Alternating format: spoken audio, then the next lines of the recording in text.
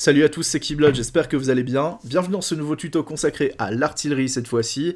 Donc nous allons revoir ensemble les catégories différentes, leurs caractéristiques, les différences. Il y a pas mal de sous-catégories également, entre les mortiers, les obusiers, etc. On va voir tout ça ensemble avec évidemment un exemple pratique sur le terrain en seconde partie du tuto. Mais commençons d'abord par voir un petit peu les catégories différentes qu'il y a au sein de l'artillerie. Nous aurons donc les mortiers, comme ici le mortier lourd de 120 mm allemand, également la possibilité de faire des tirs hors carte, ici la Willis OP anglaise 381 mm hors carte. Vous avez également les obusiers, comme ici l'artillerie roumaine M1934 Skoda, les lance-roquettes, donc le très célèbre Katyusha russe, ici également de l'artillerie motorisée comme le M7 américain.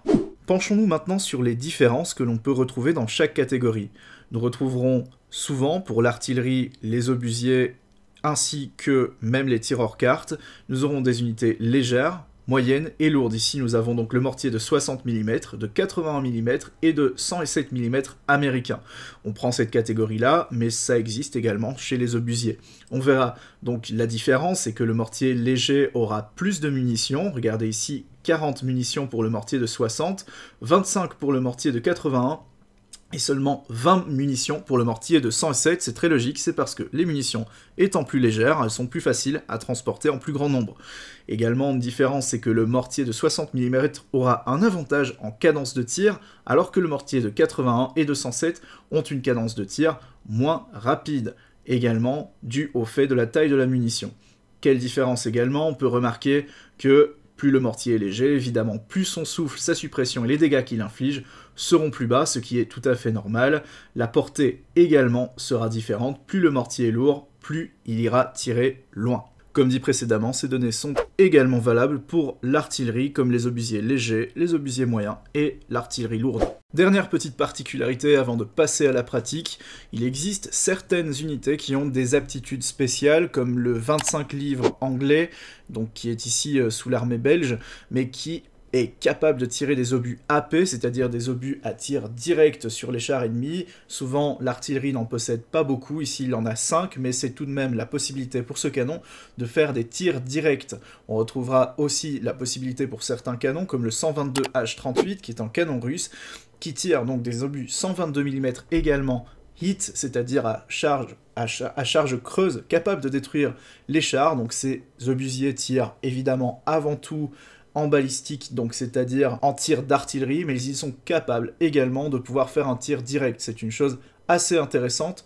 On trouvera aussi des unités particulières comme le WC-52 KO 132 mm, mais cette fois-ci, il ne tire pas des obus explosifs, il tire des roquettes, et ce sont des, roquettes, enfin, des fusées fumigènes, donc cela servira à faire des écrans de fumée. On trouvera également deux véhicules intéressants comme la BOQ Bell 380 mm pardon, et la Willis OP 380 mm qui font appel à l'un des tirs donc de Siegfried 380 mm qui est donc le fameux canon allemand monté sur rail et de l'autre côté un BL 15 inch 380 mm qui est euh, qui n'est rien d'autre que de l'artillerie navale. Donc ce sont des tirs hors carte excessivement puissants. Ce sont actuellement les plus grosses explosions du jeu avec 15 288 de souffle.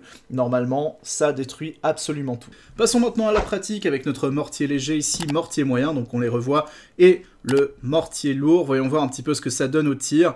On voit ici que le mortier léger va tirer beaucoup plus rapidement. Vous voyez cette intensité de tir, mortier de 60 mm. Mais petits dégâts dans le cadre. On voit des dégâts ici qui augmentent un petit peu plus avec notre mortier moyen. Un peu moins rapide, mais quand même une bonne intensité de tir. Et évidemment le mortier lourd, lui, qui va tirer vraiment au compte-goutte, donc beaucoup moins rapide. Par contre, on peut remarquer que les impacts dans le petit cadre là sont beaucoup plus gros, donc ça fait des bons gros dégâts. Alors pour l'artillerie hors carte, c'est très intéressant de regarder ici, vous avez trois options, tir d'urgence, vous avez ensuite le tir euh, pour effet, vous voyez que le temps de viser, les coups tirés, la précision diminue, le cercle, donc le, radius du cercle diminue à chaque fois que vous allez mettre un tir plus centré, mais cela prendra plus de temps à le tirer. Ici, voilà les dégâts, pour exemple, d'un tir euh, hors carte qui sont évidemment très très très puissants. Ici, c'est du 200, 230 mm, donc euh, ça fait de gros dégâts de déflagration.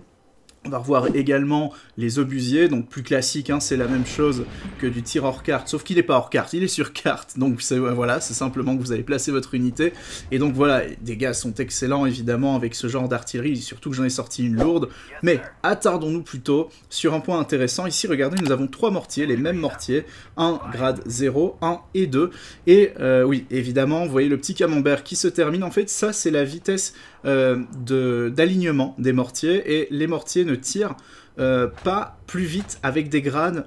Euh, donc le mortier, c'est d'ailleurs le mortier sans grade qui commence à tirer en premier, alors que normalement on penserait, ben, il a une plus grande rapidité de tir, et ben non, en fait c'est la vitesse de tir lorsqu'il a aligné son coup. Regardez, le mortier 2 a déjà terminé ses tirs, et si on regarde dans les petits cadres ici, on remarque que la vitesse, euh, la cadence de tir influence aussi la vitesse de rechargement entre deux salves. On voit que le mortier de 81 avec un grade 2 a déjà terminé, là il a presque terminé, voilà, il vient de terminer son rechargement. Il est donc apte à retirer une autre salve alors que le mortier 81, donc le même mais sans grade, prend un peu plus de temps. Penchons-nous à présent sur la précision de notre artillerie. Mais quelle est donc cette étrange ligne de séparation qui augmente et diminue notre précision? Eh bien c'est très simple, Jamy, c'est le rayon de diffusion de nos ondes radio. On peut remarquer que cette ligne de démarcation augmente selon la proximité d'unités équipées de matériel de communication, comme le M8 Greyhound ou l'infanterie de commandement, qui, comme les baleines à bosse, utilisent des ondes à haute fréquence pour communiquer avec le reste du groupe, et ainsi étendent le diamètre de précision partout où il se dirige. C'est tout à fait incroyable En avant, Marcel Fais-moi péter ce diamètre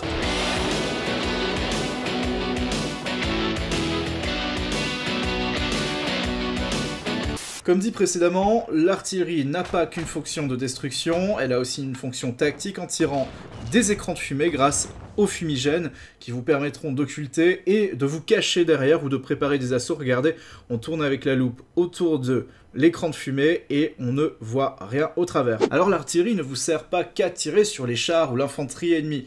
Elle peut également tirer ben, sur l'artillerie ennemie elle-même. Regardez ici, nous avons une pièce d'artillerie, on ne peut pas la voir, mais on peut tracer ses tirs. Et donc on va faire ce qu'on appelle de la contre-batterie, c'est-à-dire que notre artillerie va se mettre à tirer ben, simplement sur une position d'artillerie ennemie. Regardez ici, un petit plus 50 apparaît et on entend les explosions, c'est donc l'artillerie ennemie qui a été détruite ou alors un véhicule de ravitaillement, c'est pas trop. Mais en tout cas, on les dérange et on empêche donc l'artillerie. Regardez, il y a une fumée qui s'élève de la forêt. Alors, autre chose à savoir, grouper son artillerie n'est pas une bonne chose, comme ici, regardez, je perds toute mon artillerie en une frappe parce que ils sont tous les trois au même endroit. Donc regardez, ce qui est intéressant de faire, c'est de disperser ces pièces d'artillerie de manière à ce que l'ennemi ait du mal à la détruire, ou du moins, s'il vous en détruit, ça sera une pièce, une par une, et pas trois en même temps.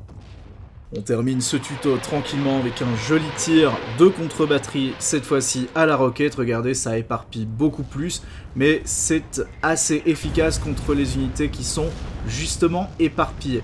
Grâce à ce genre de tir, on peut donc soit détruire, soit mettre en décrochage les unités ennemies. Avant de se quitter, un dernier petit conseil, n'oubliez pas que la configuration d'unité d'artillerie vous permet de mettre des remorqueurs qui sont également des ravitailleurs de munitions. C'est assez intéressant de le savoir, comme ça ça vous fait économiser des cases dans votre armée. Voici ce tuto qui se termine, n'hésitez pas à checker dans la description le lien vers la communauté, n'hésitez pas également à faire un petit tour sur ma page sur Utip si vous considérez que mon contenu en vaut la peine. C'était Keyblood, à la prochaine.